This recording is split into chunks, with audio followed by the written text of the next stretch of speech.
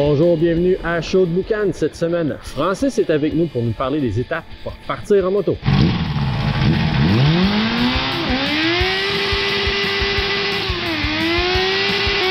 Donc, aujourd'hui, on est avec Francis. Comment ça va?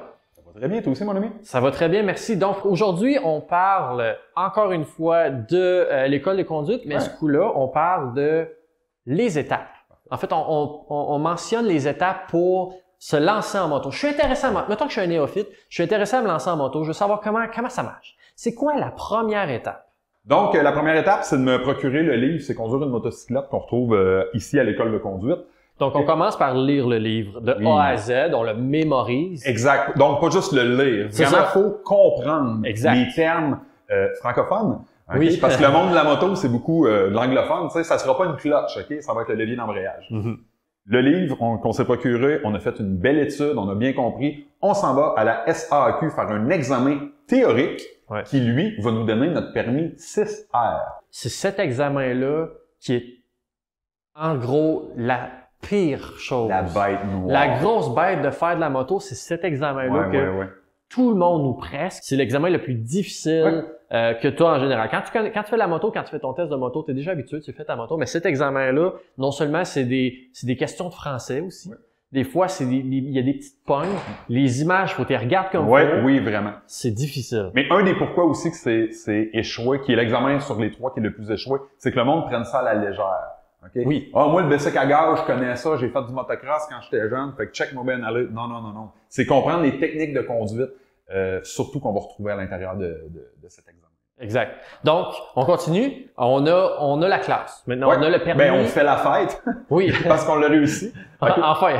Le permis CSR te permet de conduire uniquement à l'intérieur de l'école, ben, à l'intérieur, on s'entend, euh, avec l'école de conduite pour que ça soit tes cours en circuit fermé avec les cônes ou bien le volet routier, donc sur la route avec les dossards, là, les motocyclistes qu'on croise régulièrement. OK, parfait. Donc, on part, on part avec cela. On a, mais en fait, ce, ce premier permis-là ne te permet pas de partir en moto. Il te permet de suivre le cours Avec l'école de conduite. avec l'école une de conduite. C'est l'école de important, là. Il faut, il faut le comprendre, ça. Exact. Et Exact. ça, c'est ça. Donc, ça te permet de commencer à suivre un cours. Exactement. Et c'est là que débute euh, le, le service à l'école de conduite, euh, Maximo. Parfait. Donc là, ici, on parle de quoi? On parle de, on parle de, on va s'inscrire à l'école de conduite. Ouais. On parle de payer les premiers frais. Exact. On va, qu'on va parler plus tard. Oui, oui, oui. Donc ça- là, on, on se lance dans quoi? Un trois heures de théorie. Trois OK? heures de théorie. Euh, présentement, c'est dispensé en ligne, OK? Donc, dans le confort de la maison avec notre bon café. Donc, trois heures de théorie qui, lui, c'est une préparation pour le circuit fermé. OK. Donc, c'est comme une suite logique de ce qu'on a vu dans le livre, OK? Pour le- la réussite de l'examen théorique. Et c'est un peu un aperçu de ce qu'on va voir en circuit fermé. OK. OK? Donc, les manœuvres qu'on va voir à basse vitesse. Donc, Là, juste pour vous dire, le circuit fermé, ça, c'est quand on est dans les stationnements avec les cônes à terre, les petites motos Oui, avec oui. les pecs sur le côté. Et- et malheureusement- Les, les motos normales. Oui, exactement. Et malheureusement, c'est un, c'est un volet qui est pris encore une fois à la légère, que, le- que la pas la plupart, mais certains motocyclistes vont se dire, ben moi, virailler autour des comptes, mais je trouve que ça sert à rien. Et sérieusement, c'est hyper important d'être capable de manipuler notre moto à basse vitesse. Mhm. Ok? Faire de l'autoroute, c'est pas difficile en moto, mais être autour des comptes, pratiquer des manœuvres d'urgence, euh, c'est hyper important. Donc, c'est un volet non négligeable, euh, à tout le moins ici à l'école de conduite Mexico. Oui, parce que, écoute, moi, ça fait pas longtemps que je fais de la moto. Je pense que c'est ma quatrième ou ma cinquième année. Et puis, je sais pas combien de fois j'ai dû freiner parce qu'il y a quelqu'un qui m'a pas vu. Tu sais, ils disent le moto, hein. Euh, ils disent le moto, pas la moto, mais le moto, c'est quand tu conduis une moto, tu la conduis pour deux. Tu conduis pour la personne en avant de toi qui te regarde pas. Exact. Tu, il faut que tu anticipes tout le temps, tout le temps que cette personne-là ne te voit pas. Et je sais pas combien de fois je suis parti sur le slide de côté avec le frein arrière parce qu'il y a une moto qui venait de me couper. Puis j'ai réussi à, à pas tomber. Donc j'ai réussi à pas me faire mal. J'ai réussi à garder mon portefeuille intact. Parce que j'ai pratiqué dans les cours Exact. un freinage d'urgence, un contre-braquage. J'ai réussi à me, j'ai réussi à me, à me pratiquer. C'est ça que, comme tu dis, les gens Ouais. négligent. Exact. Puis c'est pas juste pour réussir l'examen de la, de la SAAQ là qu'on pratique ça. Oui, il y a l'examen de la SAAQ qui va arriver à la fin de- de- du processus à l'école de conduite, mais tu sais, le vrai examen entre toi et moi, c'est la vie de tous les jours. Tu pars seul, tu pars avec ta conjointe ou avec des amis, c'est de revenir à la maison. Hein. Ouais. que je préfère de loin échouer un examen de la SAC parce que je suis pas prêt à aller sur le réseau routier, partager la route avec les autres dans, dans- dans un environnement qui est quand même assez euh, complexe. là. On- on, on va se le dire. Donc, euh, Fait qu'on débute les comptes. Oui. On- comme on disait, on a fait un 3 heures de théorie qui nous prépare au circuit fermé. On fait 16 heures de circuit fermé, pardonnez-moi. Euh, c'est souvent 4 fois 4 heures, mais ça peut varier aussi là, selon les dispos des, des, des, des, des moniteurs, instructeurs et des, et des clients, évidemment. Mhm. Euh, et une fois que le 16 heures de circuit fermé est fait, on a un deuxième 3 heures de théorie qui nous prépare au réseau routier. Ouais, parce que ça, c'est, là, c'est le moment où c'est fini les comptes. Oui, Là, on repart pour vrai. oui. Souvent, on entend la vraie vie. Oui, c'est la vraie vie parce que c'est ce qu'on veut. On veut pas rouler toute notre vie en circuit fermé, évidemment. Mais si on applique les, les notions qu'on a vues ultérieurement en circuit fermé, ben, on va aller les mettre en pratique dans la vraie vie, donc sur la route. Donc, trois heures de théorie pour nous préparer. Donc, on parle de comment se positionner, comment qu'on fait nos arrêts, euh, comment se conduire en présence d'autres automobilistes, mais aussi avec d'autres motocyclistes. Oui, parce que c'est des, des- en groupe. On part en groupe. Ouais. Avec le moniteur euh, qui, qui- qui est souvent devant.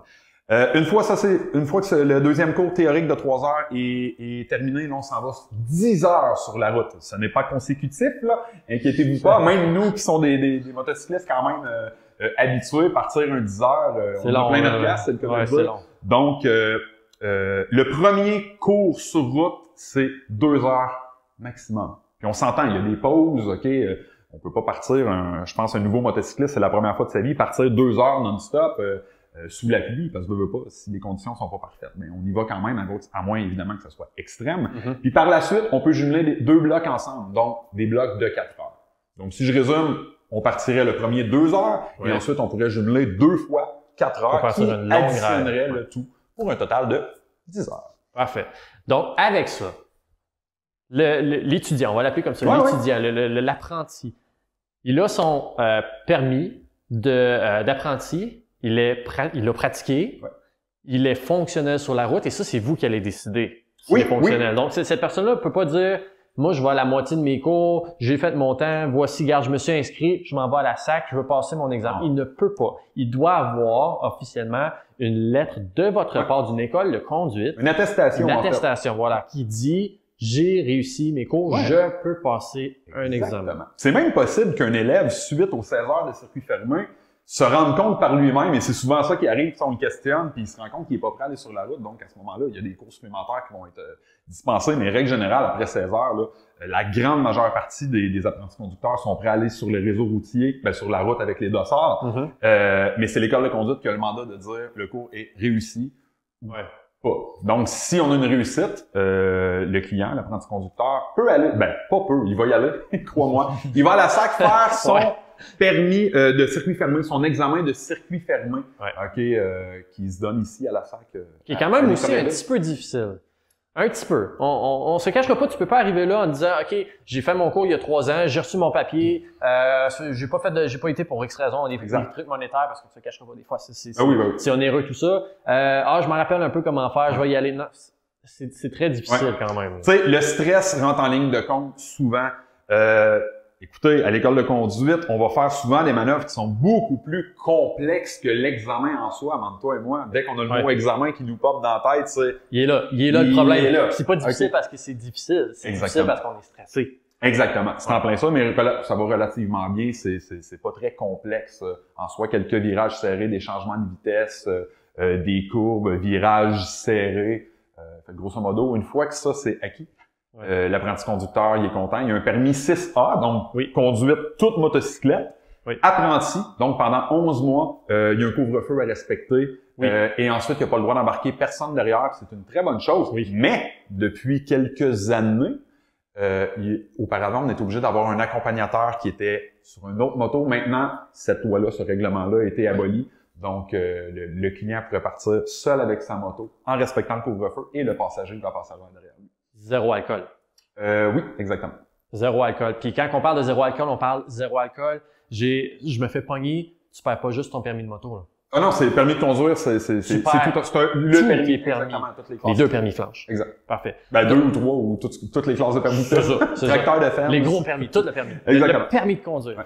Donc, avec ça, maintenant, on, on parle de frais euh, général. On- là, on va y aller après ça, il y a un autre examen, vite, vite. Ouais, On- 11 on va mois plus parler tard, c'est un examen routier euh, euh, qui a lieu à la SAC, souvent à Drummondville ou dans Puis, un... Lui, il est relativement facile. Si vous avez, si vous avez suivi votre cours puis vous avez moindrement une tête, vous faites vos angles morts, Exactement, vous allez exactement. réussir. Donc, on parle en général combien à peu près? Combien ça coûte? En tout et partout, puis je vais même, en plus, inclure un équipement de base, mais Ouais. sécuritaire. Donc, on parle de, de, de manteaux, de, de gants, de, de casques, d'une certaine qualité, parce qu'on on aura la chance d'en parler euh, plus tard, les qualités de, Ouais. de l'équipement, mais quelque chose de bien, de sécuritaire, incluant les frais d'examen, incluant euh, le coût de, de l'obtention du permis de conduire ici à l'école de conduite. C'est grosso modo 2000 dollars pour faire un chiffre. Parfait. Donc, à ce 2000 $-là, approximatif, dépendamment évidemment de où ce que les gens s'inscrivent, Ouais. euh, on, là, ça, c'est pour la moto. Mais on va faire vite, vite parce que le, le temps avance. Si on, on- si on parle maintenant scooter, cyclo, euh, spider, on, on est un petit peu moins que ça. Oui, oui, Le temps est moins long. Ouais, le temps est moins long, donc c'est sûr, les coûts sont, sont moins élevés.